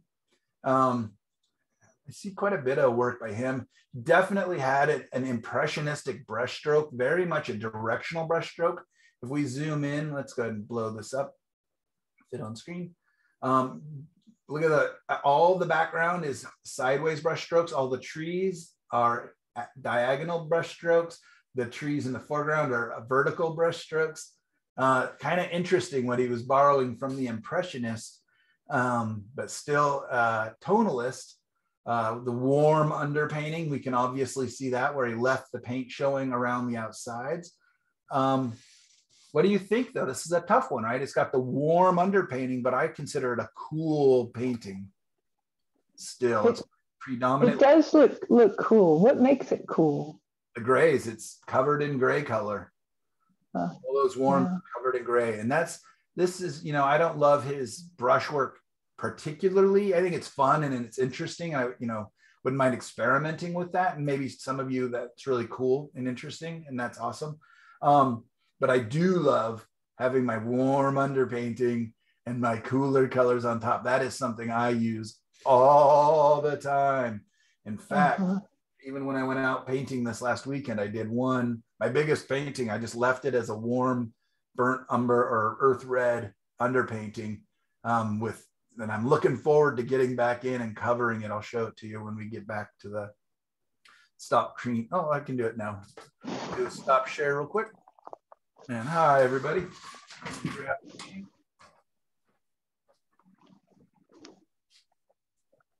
So I can show you the difference. So I did, I don't know, a number of little paintings out in the vineyards this weekend. So this is not the one I was just talking about. This is just straight color. Um, it was a very overcast. Huh, it's reading as warmer. The top is actually quite gray. But anyways, that's a colored version of kind of me trying to capture. This is like a little half hour quick sketch, just trying to capture the idea of the atmosphere. And then after that, I had another half hour to do another quick little painting. And I just decided, you know what, screw the color. Let's go for the design and values. Um, and I, I was just taken with the patterning of the farms and the fields. So that's all I looked for was just design. And now I can, you know, after this dries a little more, Um, I can come back in and color those up just like our buddy Leonard over here.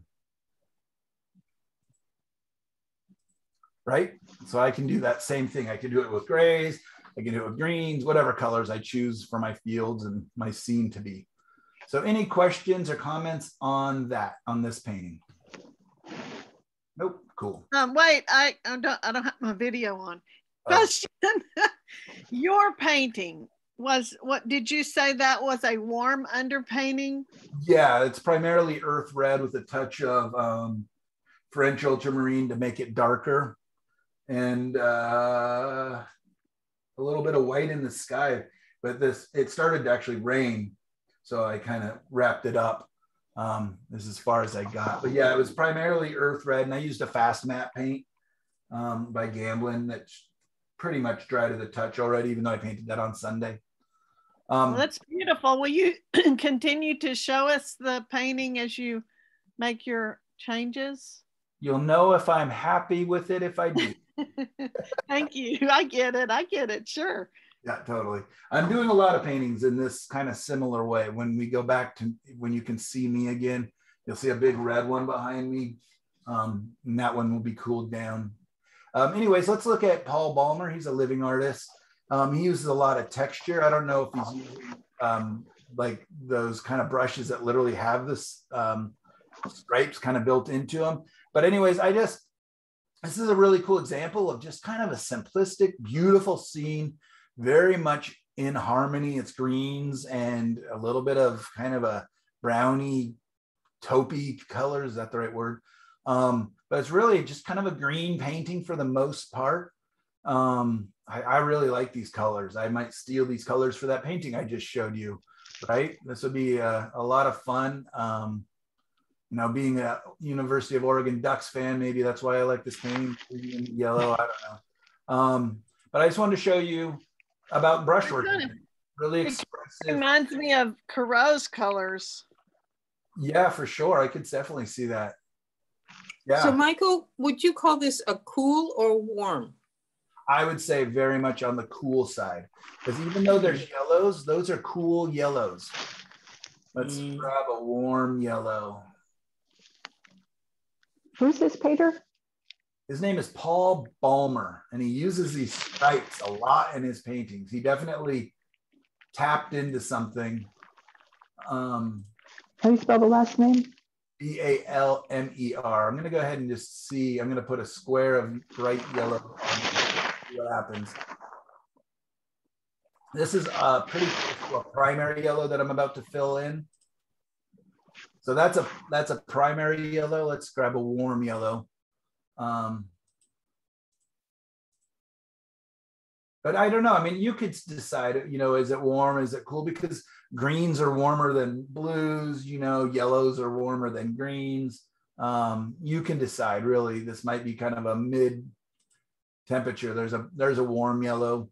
The sky still feels quite cool to me, even though it's kind of a, you know, it's on the warmer side. It's not on the blue side. It's kind of leaning towards red, but um, yeah, and you can kind of decide. The main thing is that he's kind of got a nice harmony in the piece, doesn't he? When I get rid of those squares. So, anyways, just want to share that with you. Um, Paul Batch, another living artist. Uh, don't see as much from him anymore. He kind of used to see quite a bit of stuff from him. I don't know. Maybe I just stopped following him or something. Um, he does this kind of nice, simplistic landscape stuff a lot of the time. Um, I really like his use of the reds and greens together. Um, so that's something that's really interesting to me as I paint more and more fields and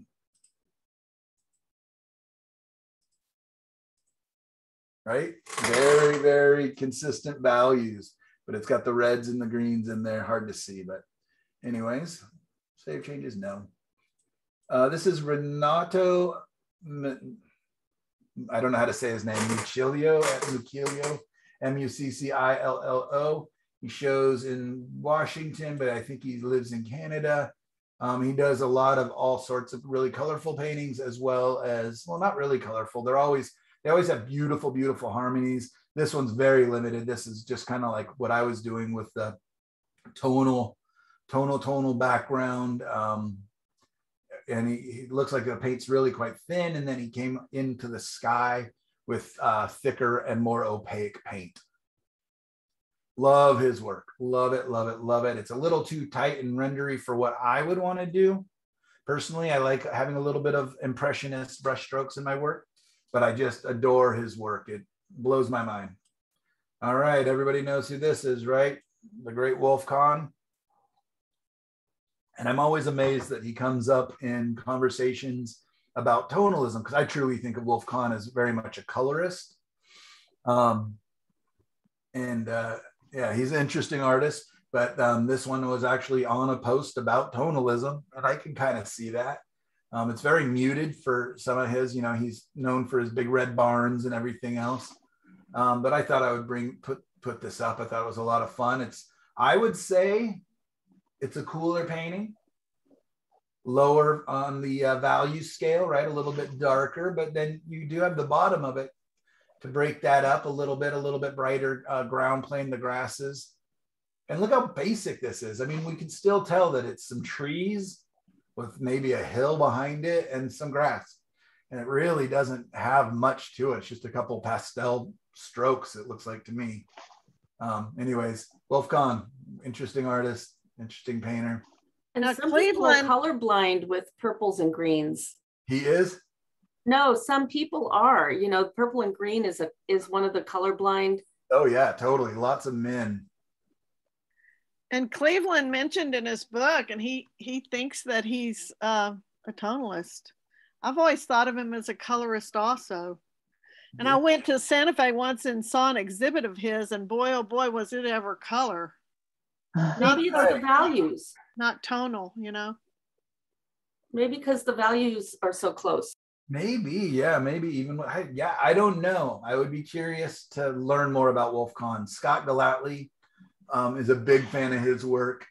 Um, one of the teachers at OSA. So maybe I need to have him educate me more on why I should actually like Wolf Kahn more than I do. I, I don't. Uh, I don't usually see what the fuss is about.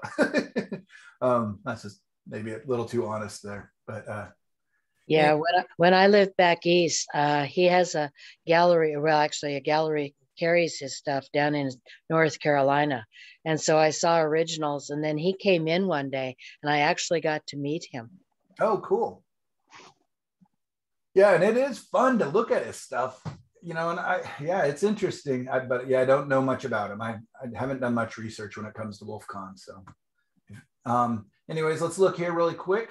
I would say that this warmer, right? Even though it's darker, it's still on the warmer side.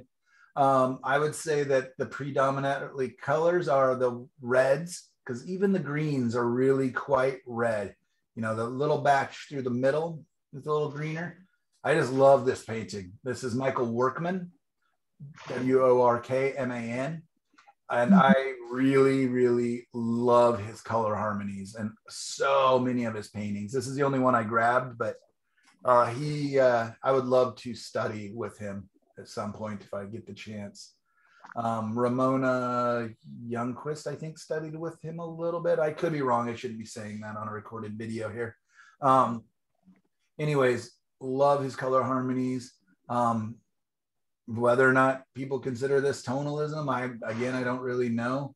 Um, but I sure like it a lot. I would love to do like I did with those little squares and select different colors from this and just see how they line up. Um, but I, I want to keep moving because uh, I've got a lot of these.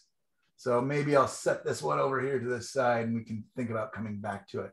Um, I just grabbed the Maxfield Parrish just to show you, you know, nobody considers Maxfield Parrish a tonalist, but you know, he sure did do some very tonal, um, monochromatic color, you know, paintings, and still had that Maxfield Parrish glow, even when they're so cold. And so he's a colorist, correct? I would say so. Yeah, he yeah. was very, very translucent layers. So he would do his underpainting in uh, he uh, I thought he was doing his underpaintings in black and white, but I've seen some unfinished paintings and they looked like they were in different values of blue and white. Mm-hmm. And when he added the color, those blues would shift to other colors. So imagine just sheet after sheet of transparent colors going over the top. Um, and so Maxfield Parrish, because he was layering these translucent colors, was making colors no other artist could figure out how to make. Right? You couldn't mix the colors; they had to be laid on top of each other to create these different effects. Maxwell Parrish even had a blue named after him, Maxwell Parrish Blue, um, which is a very interesting translucent blue. Um, anyways, I just want to show you that. Uh, this is Mark Hansen. I used him as one of the uh, uh, references. I love these colors. I may even use these colors for, maybe I'll even use these colors and uh, Michael Workman's colors or something as my two references for today. They're so different and so awesome, right? So I sorry, love- Michael.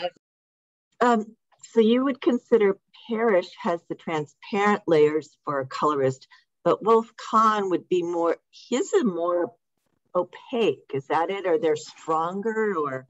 Yeah, and he well, Wolf Kahn did a lot of pastels as well.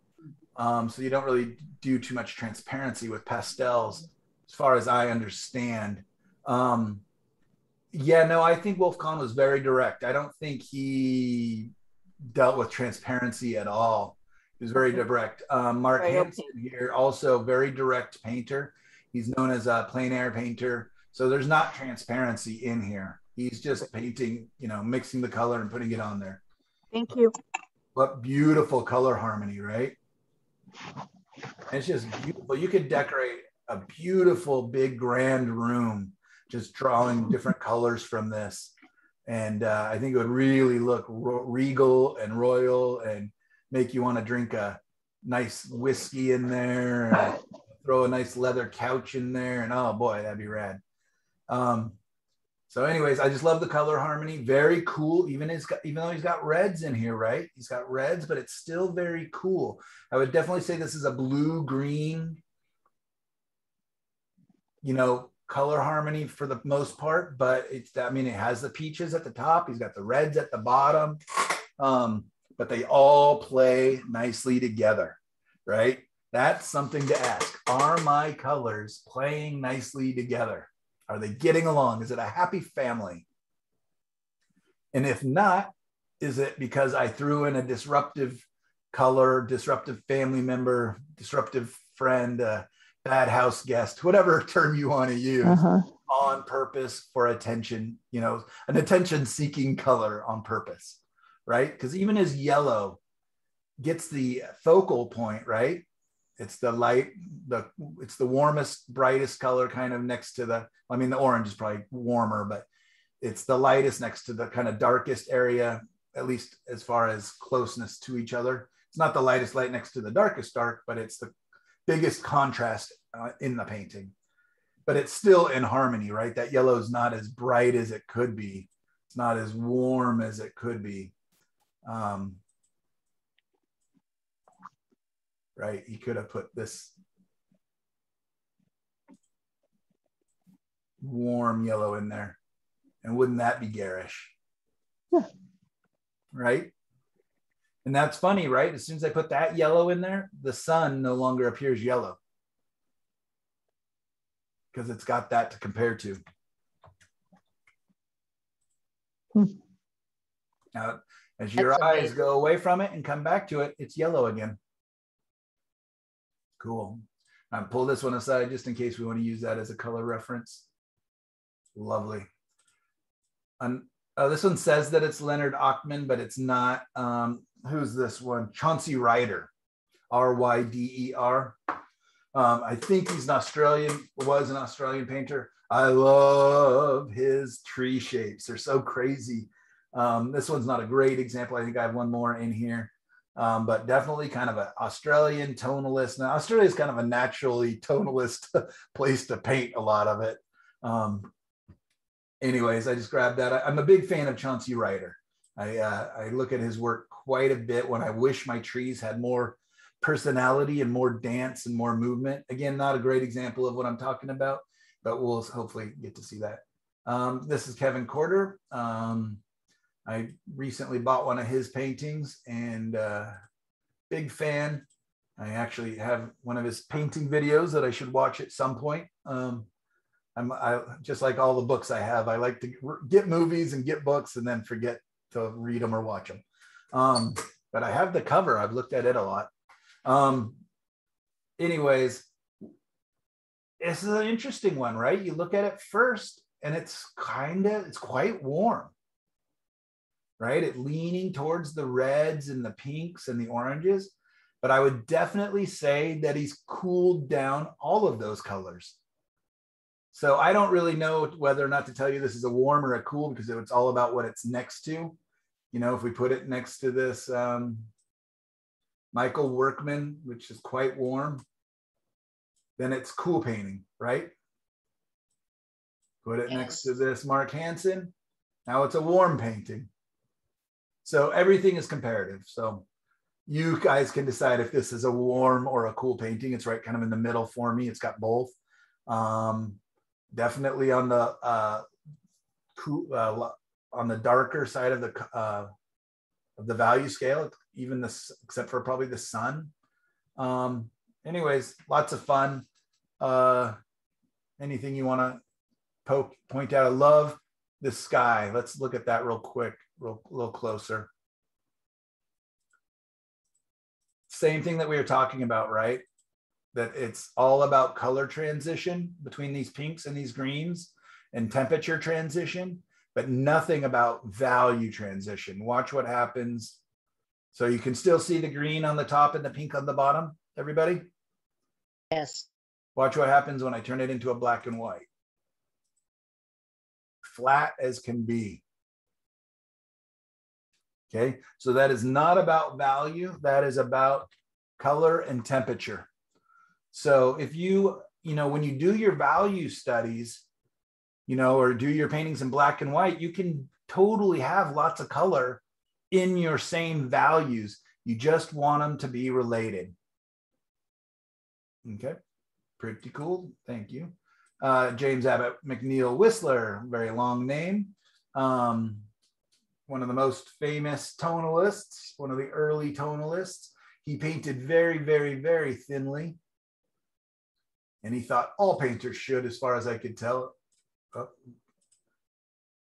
Um, I respect what he's doing. Don't love all his work, but I think I can learn a lot by looking at it. He often had slightly warmer undertones and put cool colors on top, just like I like to do. Um, yeah, and he really um, wanted his paintings to be very quiet, very subtle, and very soft. Um, like, what was it called? Like whispers on glass or something like that. Like painted whispers on glass or some some saying like that. I can't remember. Anyways, Whistler, Henry Tanner, another just cool painting. Um, I like the brush strokes. Let me pull up, and I want to get rid, get through these. Um, fun brush strokes, right? They're not tight, but they really, there's still a sense of detail. Interesting. Um, I just really like this design, how he's framing it. He's got the light source up above, but this figure is being framed by the trees. It feels illustrative to me um, like you could see it in a Bible or something. Like it feels like there's something going, some story it's telling, but I really like it. Um, this is Fred Cummings, who I adore his brushwork. Um, I am in awe. This is not, you know, a super extravagant painting by any means, but all of his paintings feel loose, fresh, and like he had a good time doing them. Um, I think he's I'm not going to say where I think he's from. Um, but anyways, it's definitely in the cool colors, definitely in the uh, darker value key, right? In the lower value key. Um, yeah, just a little bit of warmth in there, and it's still not that warm. He didn't go crazy and make those oranges bright, bright orange or the yellows really yellow. Everything is on the cooler side, kept it all keyed in. Fred Cumming, if you really want to look for some interesting and fun brushwork. I think, let me see when I blow it up. I think this is also one of his, but I'm not positive. Uh, I can't tell that if that says his, if that's how he signs his name or not. But anyways, the brushwork in this just blows me away. It's so fun, so fresh, um, so interesting. Love the color harmony as well with the purples and greens and even the little splashes of yellow all feel like they belong together, like they're in the same world. even though it's just a quick slapdash feeling painting. Um, I almost feel like there's a little girl down here. Like she's looking off to the left, holding a watering pot. This is her where her neck is. little arm right here. I don't know. I just saw that. Thought that was interesting. Hmm. Um, yeah, I, I I don't know who exactly. I, I put down that Fred Cumming painted this one, but I'm not positive. So Oh, Michael. Hey, Yeah. Michael, I, I can see Fred Cummings' name on the top of the slide. So is Yeah, that, did you put that up there or did that come? I that? did. I'm just seeing the signature. Oh, okay. I'm not positive that that somehow it might because that looks like a G, but I'm not positive. So, anyways, if if I'm wrong, sorry about Oh, that. okay. Um, but I just really like the brush strokes and things in there. So I would love for you guys to feel a little bit liberated in your brush work this week as well, while you're working on the uh, the color and temperature keys. And basically, all I want is two two paintings from you. You know, if you want to do more, fantastic. They can be as fast or as loose or as tight as you want. You can choose warm color keys or cool color keys. You can do red paintings or blue paintings whatever it is you want to do. I just want you to think about those things. Okay. Um, Emil Carlsen. Um, I'm not going to go through, spend too much time with this. Green, green color key. Um, this is Mike uh, Douglas Fryer, who I really like as well. He does a lot of scratching in and out of his paintings, um, very loose. Uh, I, I hear great things about artists going to his workshops and coming away really liberated with their brushwork and brush strokes. Um, I think he paints with credit cards and palette knives and all sorts of squeegees and different tools. So, anyways, That's a lot of green. that is a lot of green. Yeah, Michael work or Douglas Fryer, sorry. Not as scared to use a color. Here's a, another one of his. Often has horses in his paintings. But yeah, isn't it nice? I mean, you can tell where the focal point is, but everything else is just kind of barely hinted at. You know, it might not be your bag, but I thought I'd share uh, some of his work. Um, Douglas Fryer, if you really, uh, he, I don't know if he's an artist, artist in a way. Like uh, uh, he comes up a lot in conversation where people are just kind of like, man, what he gets away with, what how he pushes the envelope, and you know, how does he make that credit card make 20 crazy little splashy dashes and all of a sudden it's a tree. Um, David Grossmann, uh, he shows in Oregon out in Bend. And, um, oops, wrong one. I very much like his kind of less is more attitude to his paintings. They're very poetic. Um, I would I would suggest going and looking at them and seeing what you think. I might have one or two more in here, but very much warm in this one and the you know golds and ochre colors. And uh, again, I just love the poetry. Um, I it's interesting because sometimes I want details, sometimes I want like how little can I convey and still get the most across, just like a good poem, right? Um, and I he uh, he does some really beautiful stuff. And when I say less is more, sometimes you'll have a tree with a thousand thousand brush strokes in it, but it's very the subject matter is very simplistic sometimes. There's another Chauncey Ryder. Um, again, not a great example of the trees and things, but um, in the kind of darker value. And I know I'm boring you guys. This is too much. Um, but warm color value, kind of towards the reds and yellows. Charles Wharton Eaton, another, look at how green this one is, right? Little splashes of orange, very green, very dark, very cool. Or you could say it's warm too if you wanted. um, Yeah. But it's very dark and green. Same one, Charles Wharton Eaton. He loved his greens. Wow, we made it. That was a lot. Look at all those little bars down below. Those are all paintings that we just looked at. Thank you guys so much. I'm gonna, I'm gonna swing these over just in case I want to kind of look at them as color references. Um, as you can tell from my voice and scratchy throat, I do need to take a little break. It's 11 o'clock already. Holy cow. Um, all right, I either paint fast or class goes a little long again. I'm gonna go ahead and stop the recording and um, and we take a You guys okay with a 10 minute break? Okay. Yeah. Yes. At 1106, 1105. And I will be painting onto the uh, paintings that we started. All right.